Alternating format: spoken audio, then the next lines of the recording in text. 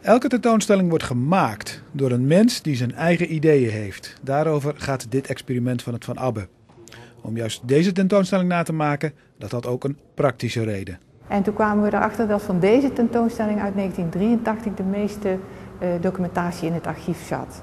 En als je me dan vraagt uh, wat, wat vond je daar in het archief, dan moet ik zeggen weinig. Voegs kwam graag weer even terug naar Eindhoven, al moest hij diep in zijn geheugen graven. Wat ik wel weet is dat deze manier van tentoonstellingen maken, dit, zodat ze zo open, zo zoveel ruimte geven aan dingen en zo simpel.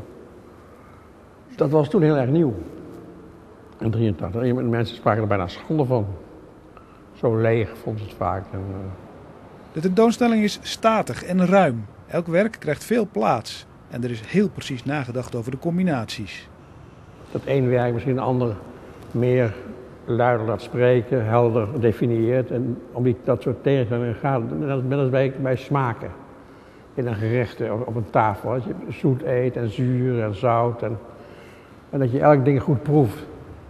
Toch, een precieze kopie is het niet. Er bleven onzekerheden. En daar hadden we twee foto's van. En op die twee foto's was ook nog iets anders te zien.